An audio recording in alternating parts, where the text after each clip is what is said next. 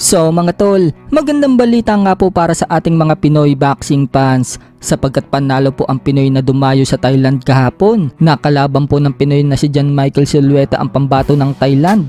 Round 1 pa lang mga tol, tinapos na agad ng Pinoy ang Thai fighter.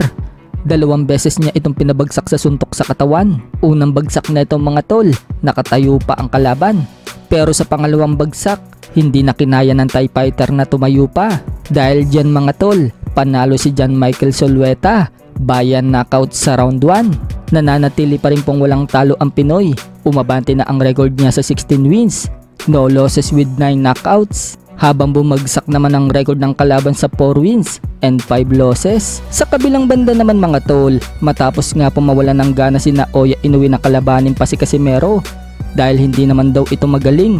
Dismayado nga po si Inoue mga tol sa pinakita ni Casimero sa laban sa Japan kontra kay Japanese Yukinori Ogoni kaya hindi na interesado si Inoue kay Casimero. Marami nga po ang mga Japanese fans mga tol na sinasabing tama lang daw ang ginawa ni Inoue. Masasayang lang daw ang oras ni Inoue kay Casimero. Maging kay Luis Neri, masasayang din daw ang oras niya. Mas excited pa daw sila na umakit ng featherweight si Inoue para sagupain daw ang mga kampiyon doon.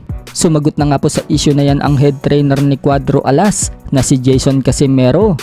May nag-comment kasi sa post ni Jason mga tol at sinabing hindi na daw interesado si Inoue pa kay Casimero. Hindi daw kasi magaling si Casimero. Simpleng nga lang po ang nireply ni Jason dyan mga tol. Sinabi niyang chill lang. Tinawanan nga lang din ni Jason mga tol ang isa ding nagtatanong kung ano daw ba ang masasabi niya na ayaw na daw ni Inoue na lumaban pa kay Casimero. So kung ang mga haters ni Cuadro alas mga tol natutuwa sa balitang ayaw na ni Inoue na lumaban pa kay Casimero. Pagdating nga po sa team Casimero, pa-chill-chill lang sila. Speaking of Casimero mga tol, sa February na daw ang balik nito sa ibabaw ng ring at sa Okada Manila umano gaganapin ang laban. Bukod dyan, lalaban din daw ulit itong si Vince para sa December at gagawin daw itong main event. Kung matatandaan, dalawang beses nga pong nakasama si Vince para sa card ni Casimero at siya po ang boksingerong nag-viral na nangyakap ng round girls. Samantala, sumagot na nga po si Carhamis Martin sa banat sa kanya ni Casimero kung matatandaan, madaming nga po ang nagmamatch up kay Casimero at Martin. Wika nga po ni Cuadro alas dyan. Si Jason Casimero aka Kuya Lods lang daw ang katapat ni Martin. At tagilid pa daw ito. Sa live nga po ni Carhamis Martin mga tol, marami ang nagtatanong kung ano ang masasabi niya sa pahayag ni Casimero. Sagot ni Martin sa mga fans, wala daw siyang pakialam dyan. Hindi na nga daw niya alam ang nangyayari sa boxing world. Pagbibiro pa ni Martin mga tol, bahala daw sila magpapadrop na lang daw siya sa PBA. Ako pakialam dyan. Hindi ko nga alam ano nagaganap sa boxing world eh. ano man, magpapadrop na ako sa PBA ngayon.